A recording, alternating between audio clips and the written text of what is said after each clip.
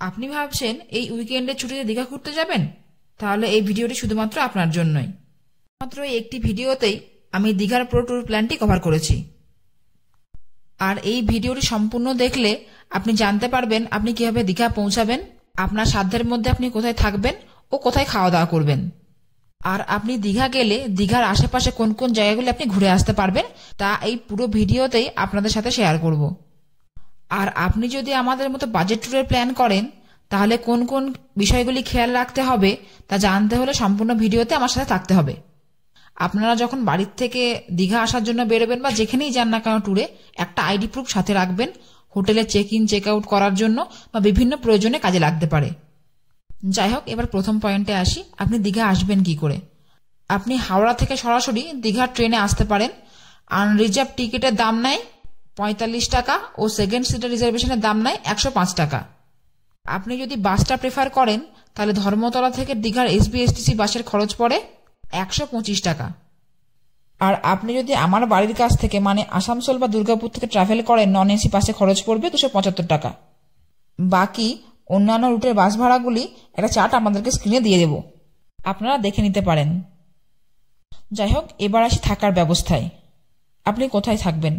Agoda বা make মাই ট্রিপে আপনি আগের থেকে হোটেল বুক করে নিতে পারেন বা আপনি এখানে এসে হোটেল বুক করতে পারেন। আমরা ছিলাম ওল্ড দীঘাতে। ওল্ড দীঘা থেকে নিউ দীঘার হোটেল চার্জ অপেক্ষাকৃত একটু বেশি। আমরা ওল্ড দীঘাতে হোটেল ক্লাসিক নামে একটি লজে উঠেছিলাম। সেখানে নন এসি রুমের ভাড়া পড়েছিল পার ডে চারশো টাকা করে। এখানে অনেক বাড়িতে পিজি সিস্টেম আছে। সেখানে আপনি থাকলে সেখানে ভাড়াটা অপেক্ষাকৃত কম। আর এবার আপনাদেরকে বলি আপনারা দীঘা এলে কোথায় কোথায় ঘুরবেন আর সেখানে গাড়ি ভাড়া কত?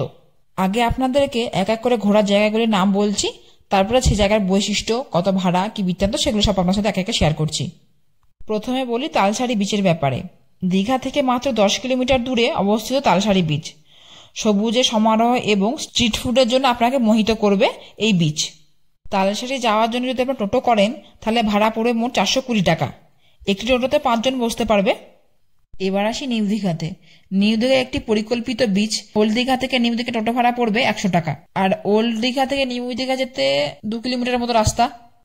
আপনি দীঘায় এসে যদি বালি বিচের আনন্দ নিতে চান, তাহলে আপনাকে অবশ্যই যেতে হবে ভোরসাগরে।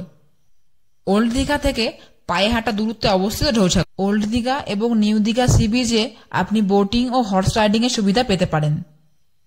দীঘায় গিয়ে আপনি প্রথম সন্ধ্যাটা ঢেউসাগরে ঘুরে আসতে পারেন।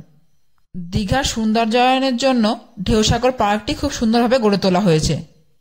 ওল্ড দীঘা থেকে ঢেউসাগর যাতায়াতের জন্য খরচ হলো দুশো টাকা আর এন্ট্রি ফি লাগে দশ টাকা। আর ভেতরে আপনি সাইকেলিং, টয় ট্রেন অনেক কিছু ব্যবস্থা আছে, সেগুলির টিকিট আলাদা আলাদা। দীঘা থেকে মাত্র পনেরো কিলোমিটার দূরে অবস্থিত শঙ্করপুর বিচ এখানে সাদা বালি আর স্বচ্ছ জলটি আপনাকে আকর্ষণ করবে। দীঘা থেকে শঙ্করপুর যাওয়া আসার টোটো ভাড়া লাগে সাতশো কুড়ি টাকা। আপনি যদি শান্তশিষ্ট পরিবেশে বিচের আনন্দ নিতে চান, তাহলে উদয়পুর আপনার জন্য সেরা ঠিকানা। দীঘা থেকে মাত্র পাঁচ কিমি দূরে অবস্থিত এই উদয়পুর বিচ টোটো করে উদয়পুর বিচে যাওয়া আসার ভাড়া পড়বে দুশো টাকা। ওল্ড দীঘা থেকে নিউ দীঘা যাওয়ার পথে বা নিউ দীঘা থেকে ওল্ড দীঘা আসার পথেই মেরিন অ্যাকোরিয়ামটা পড়ে। এটি সকাল দশটা থেকে সন্ধ্যা ছটা পর্যন্ত খোলা থাকে, আর মঙ্গলবারের দিন অ্যাকোরিয়ামটি বন্ধ থাকে। মেরিন অ্যাকোরিয়াম পেরিয়ে সামনের দিকে গেলেই অমরাবতী পার্ক, আর নিউ দীঘা থেকে আসতে গেলে অমরাবতী পার্ক পেরিয়ে মেরিন অ্যাকোরিয়াম। অমরাবতী পার্কের এন্ট্রি ফি মাত্র কুড়ি টাকা। আপনি এখানে রোপওয়ে, বোটিং ইত্যাদি আনন্দ নিতে পারবেন। সেগুলির টিকিট আলাদা আলাদা। দীঘার থেকে মাত্র ঢিলছোড়া দূরত্বে অবস্থিত জাগ্রত শিব মন্দির চন্দ্রেশ্বর। দীঘা থেকে দূরত্ব মাত্র সাত কিলোমিটার। আপনি যদি দীঘা আসেন, তাহলে আপনি অবশ্যই চন্দ্রেশ্বর শিব মন্দিরে একবার হলেও ঘুরে যাবেন। দীঘা থেকে টোটো করে চন্দ্রেশ্বর মন্দির যাতায়াত ভাড়া চারশো কুড়ি টাকা। জানেন কি? দীঘাতে আরও একটি জাগ্রত মন্দির আছে, মা নায়কালীর মন্দির। খুব বেশি দূরে না, দীঘা থেকে মাত্র ন কিলোমিটার দূরে। আপনার নায়কালী মন্দিরে যাবার পথে দীঘা গেট দেখতে পাবেন। আর রাতে দীঘা গেটের সৌন্দর্য আপনাকে মোহিত করবে। আর রাস্তার দুই ধারে আলোকসজ্জা, সেই নিয়ে নতুন করে কিছু বলার কথা নেই। আপনি গেলেই দেখতে পাবেন। দীঘা এসেছেন, আর যদি আপনি মোহনা না ঘোরেন, তাহলে আপনার দীঘা ঘোরা অসম্পূর্ণ থেকে যায়। মোহনা পরিচিত ভোরে সূর্যোদয় ও সামুদ্রিক মাছ বাজারের জন্য। আপনি এখান থেকে আপনাদের পছন্দ মতো মাছ কিনে প্যাকিং করে নিয়ে যেতে পারেন। প্যাকিংয়ের সুবিধা এখানে আছে। মোহনা যাতায়াতের জন্য চারশো টাকা ভাড়া পড়বে। এইসব জায়গাগুলি ঘোরার পর দীঘার সন্ধ্যার সবচেয়ে ভালো উপভোগ করতে পারবেন ওল্ড দীঘাতেই।